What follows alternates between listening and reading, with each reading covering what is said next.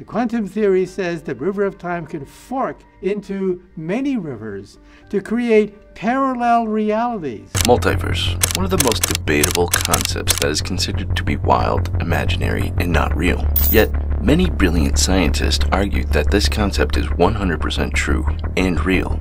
And if you pay attention to this video, you might realize that for us humans to exist, the multiverse must exist. There could be a universe where you have a twin brother or a twin sister. Another universe where you could be a billionaire. Another universe where you could be a mass murderer. And believe it or not, you can calculate that number using quantum mechanics.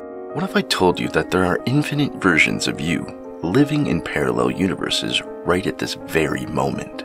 This may sound like science fiction kinds of stuff, but some of the world's most brilliant minds believe that the concept of the multiverse is not only possible, but necessary to explain some of the biggest mysteries of our universe. Because scientists believe that the multiverse is the only logical explanation for our entire existence. For the existence of dark matter to the fine tuning of physical constants, the multiverse theory offers answers that we may never find in our own universe. We do believe that at the beginning of time there was chaos, all these world lines colliding, quantum fluctuations taking place everywhere, and out of that came our classical world. And Einstein says that our universe is a bubble, expanding, that peels off a baby bubble, or perhaps two bubbles collide, giving you a bigger bubble, and we think that is the Big Bang. Most of these bubbles pop into existence and pop right back into the vacuum, never to be seen again. And so the vacuum, that is a state of nothingness, is teeming with bubble universes being created and destroyed. No matter how much we gaze out into the universe with our super high-tech gadgets, we might never be able to find its edge. It's like looking for the end of a rainbow or the bottom of a bottomless pit. Space just keeps going, spreading, and expanding. The universe has mainly two things, matter and radiation. And if you look closely enough, you'll see the indicating signs of an expanding universe, like galaxies that grow in size and number faster than you can imagine. It's almost like the universe is trying to tell us something. But what? But what exists outside this visible universe? Is there emptiness behind the light signals that have come to us since the Big Bang? Or is there actually a multiverse that is mysterious that is beyond our understanding? Unless there is a significant flaw in our knowledge of the universe, the multiverse has to be the solution. Here's why. You see, at the core of the multiverse theory lies a simple yet profound idea that our universe is not unique or special in any way. Just as the Earth, the Sun, and the Milky Way are not located in any privileged position in the cosmos, neither is any other location. The multiverse theory takes this concept even further, suggesting that there is nothing exceptional about the entire visible universe, and that it is just one of many possible realities. Our observable universe is like a tiny microbe in a vast ocean of unobservable space, which is why I absolutely understand why it might feel tough to wrap your head around the idea of a multiverse, and it makes sense to feel doubtful about whether we can ever know for sure if it's real. See, in fields like physics and astronomy, we rely on observable and measurable evidence to support our theories. But when it comes to something that exists beyond what we can see and leaves no trace in our universe, it's a real challenge to find any concrete proof. So the concept of a multiverse seems like it might be one of those things that we can't really test. We know that some things are true even if we can't see them directly. Take gravitational waves for instance. Before we actually detected them, we knew they had to exist because we could observe their effects on binary pulsars, these are two neutron stars that orbit each other and seem to have shorter periods of revolution. We figured that something must be taking away their energy, and gravitational waves seemed like the most plausible explanation based on what we already knew. Basically, the LIGO and Virgo Observatory recently confirmed the existence of gravitational waves through direct detection, but we already knew they had to exist because of other evidence. Some folks might still be convinced that this other evidence was enough to prove that gravitational waves exist. For example, we observed binary pulsars emitting gravitational waves, but LIGO and Virgo didn't detect the waves from those pulsars. But just because we can't see it doesn't mean that it's not there. If we can't see the multiverse with our own eyes, then how can we know it's real? What clues in indirect ways do we have which shows that there's more to the universe than what we can observe? And how can we be sure that our universe is just one of many that exist within the multiverse? We learn about the universe by observing it, just like how we learn about the world by exploring it. When we gaze into the far reaches of the observable universe, we find something fascinating. The light rays that were emitted from the earliest times, which we call the cosmic microwave background, make unique and intriguing patterns on the sky.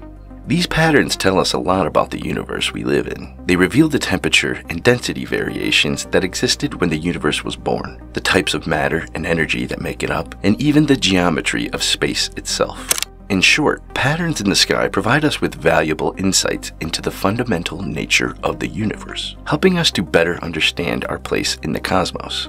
So, from what we can gather, it seems that space doesn't have a positive or negative curve like a sphere or a saddle. Instead, it appears to be flat, which means that the unobservable universe is probably way bigger than we can see. And here's the thing. It doesn't loop back on itself or have any empty spaces. If it is curved, then its diameter is likely hundreds of times larger than we can observe.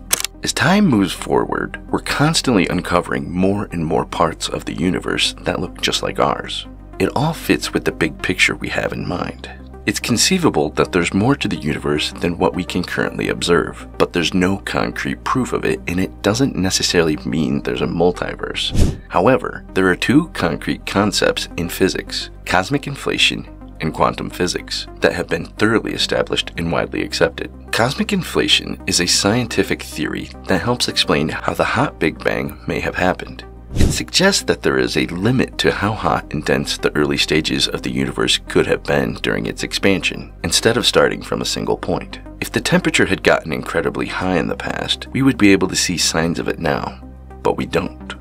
These are 1. Significant temperature fluctuations in the early stages. 2. The variability in seed density is constrained by the size of the cosmic horizon. 3. Additionally, there exist high energy remnants of the early universe that have not been fully utilized, such as magnetic monopoles. These signs that scientists were expecting to see are totally missing. This is a big deal because it implies that the universe didn't reach the really high temperatures that were previously assumed. It seems that something else happened before the Big Bang to set things up the way they are now. And that's where my fellow space explorers, cosmic inflation comes in. You see, this concept was meant to solve a bunch of confusing issues that came along with the Big Bang Theory. Luckily, it did more than just fix those problems. It actually made predictions that could be tested and observed within our universe. Big bangs happen all the time. Even as we are speaking, multiverses are being created. That's called eternal inflation. Inflation is basically the creation of a baby universe. But these baby universes are being created all the time in this bubble bath of universes. Each universe is perhaps with the laws of physics slightly altered, with the flow of time slightly different. Eternal inflation, this multiverse idea, is the dominant theory in cosmology today. We have seen some really interesting things in our study of the universe. One of these is that there seems to be a lack of spatial curvature, which is something that we predicted. We've also noticed that the initial fluctuations in the universe seem to be adiabatic in nature, which means they follow a certain pattern. Another thing we found is that the spectrum and magnitude of the initial fluctuations match what we expect if inflation theory is correct. Finally, We've seen some fluctuations that are even bigger than what we thought was possible, which again lines up with what inflation theory tells us. It's all very intriguing. Even though we don't know everything about inflation, we do have a lot of evidence showing that it happened in the early universe. This inflation period basically kickstarted the Big Bang and created a bunch of fluctuations that eventually led to the cosmic web we see today. As far as we know, only inflation can explain what we've observed about the universe and make predictions that match up what we see.